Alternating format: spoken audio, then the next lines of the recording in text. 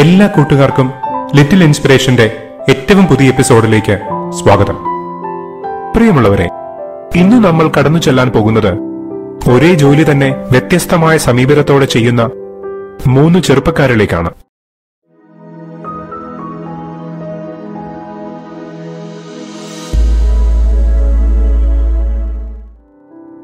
ഈ കഥ ഞാൻ കണ്ടെത്തിയത് ഒരു കെട്ടിട നിർമ്മാണ സ്ഥലത്താണ്. അവിടെ ഒരു വീടിന്റെ പണി നടക്കുകയാണ്.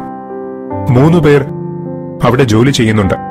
എന്നാൽ മൂന്നു പേരുടെയും ശരീരഭാഷയിൽ കാര്യമായ വ്യത്യാസവുമുണ്ട്. ഒരാൾക്ക് നല്ല ക്ഷീണം തോന്നിക്കുന്നുണ്ട്. മറ്റൊരാൾ ഒരു യന്ത്രം പോലെ പ്രവർത്തിക്കുകയാണ്. വേറൊന്നും അയാൾ ശ്രദ്ധിക്കുന്നില്ല. മൂന്നാമനാകട്ടെ വളരെ സന്തോഷവാനായി കാണപ്പെടുന്നുമുണ്ട്. അപ്പോഴാണ് അവരെ മൂന്നു പേരെയും പരിചയമുള്ള ഒരു സുഹൃത്ത് അതുവഴി വന്നത്.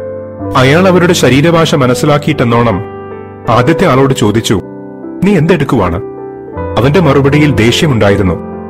ഞാൻ ഇവിടെ കഷ്ടപ്പെട്ട് പണിയെടുക്കുന്നത് കണ്ടുകൂടെ നിനക്ക്? പിന്നെന്തിനാ ചോദിക്കുന്നത്? രണ്ടാമനോടും ആ സുഹൃത്ത് അതേ ചോദ്യം തന്നെ ചോദിച്ചു. അതിന് രണ്ടാമൻ ഇങ്ങനെ മറുപടി പറഞ്ഞു ഞാനിവിടെ ഇഷ്ടിക കെട്ടിക്കൊണ്ടിരിക്കുകയാണ്. മൂന്നാമനോടും ചോദ്യം ആവർത്തിക്കപ്പെട്ടു. എന്നാൽ മറ്റു രണ്ടുപേരിലും കാണാതിരുന്ന ഒരു സന്തോഷം അയാളിൽ കാണാൻ സാധിച്ചു. അയാളുടെ മറുപടി ഇതായിരുന്നു. ഞാനിവിടെ മനോഹരമായ ഒരു വീടിന്റെ പണിയിൽ ഏർപ്പെട്ടിരിക്കുകയാണ്. അയാളുടെ മറുപടി കേട്ടപ്പോൾ ചോദ്യം ചോദിച്ചയാൾക്ക് ഒരു കാര്യം മനസ്സിലായി. തന്റെ മൂന്നാമത്തെ സുഹൃത്ത് അയാൾ ചെയ്യുന്ന ജോലിയിൽ വല്ലാതെ അഭിമാനം കൊള്ളുന്നുണ്ട്. അയാൾക്കറിയേണ്ടിയിരുന്നതും ആ ഉന്മേഷത്തിന്റെ കാരണമായിരുന്നു. സുഹൃത്തുക്കളെ ഈ കഥയിലെ ആദ്യത്തെ ആൾ കൂലി മാത്രം ലക്ഷ്യമാക്കി പണിയെടുക്കുന്ന ഒരാളാണ്. അതുകൊണ്ട് തന്നെ അയാൾ വളരെ കഷ്ടപ്പെട്ടാണ് ഓരോ ദിവസത്തെ പണിയും ചെയ്തു തീർക്കുന്നത്. എന്നാൽ രണ്ടാമൻ തന്റെ ജോലിയോട് കൂടുതൽ ശ്രദ്ധ കാണിക്കുന്നുണ്ട്. പക്ഷെ മറ്റു കാര്യങ്ങളൊന്നും അയാൾ ശ്രദ്ധിക്കുന്നില്ല. അയാളുടെ ഈ ഇടുങ്ങിയ ചിന്താഗതി വലിയ സന്തോഷമൊന്നും അയാളുടെ ജോലിയിൽ അയാൾക്ക് നൽകുന്നില്ല.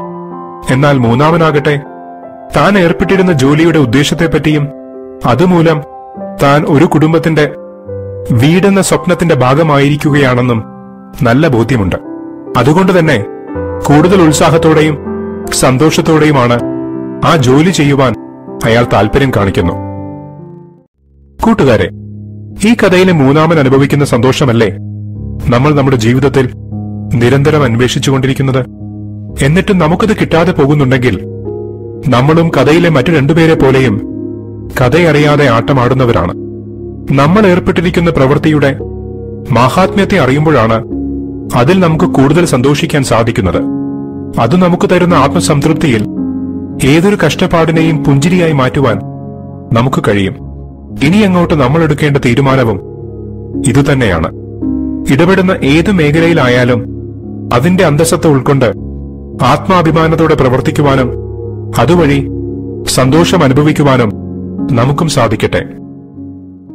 കൂട്ടുകാരെ ഇന്നത്തെ ഈ ലിറ്റിൽ ഇൻസ്പിറേഷൻ വീഡിയോ നിങ്ങൾക്ക് ഇഷ്ടപ്പെട്ടുവെന്ന് കരുതുന്നു. ഈ വീഡിയോ ഇഷ്ടപ്പെട്ടെങ്കിൽ നിങ്ങൾ മറക്കാതെ ഞങ്ങളുടെ ഈ ചാനൽ ഒന്ന് സബ്സ്ക്രൈബ് ചെയ്യണേ. കൂടാതെ നിങ്ങളുടെ പ്രിയപ്പെട്ടവരോട് ഞങ്ങളുടെ ഈ ചെറിയ വീഡിയോ ഷെയർ ചെയ്തും സഹായിക്കുമെന്ന് പ്രതീക്ഷിക്കുന്നു. നിങ്ങളുടെ വിലയേറിയ അഭിപ്രായങ്ങളും നിർദ്ദേശങ്ങളും ഞങ്ങളെ കമന്റ് സെക്ഷനിലൂടെ എഴുതി അറിയിക്കണേ. കൂടുതൽ നല്ല വീഡിയോകളുമായി നിങ്ങളുടെ അടുത്തേക്ക് ഉടൻ വരാമെന്ന പ്രതീക്ഷയോടെ ഞങ്ങൾ തൽക്കാലം ഇട പറയുന്നു നന്ദി.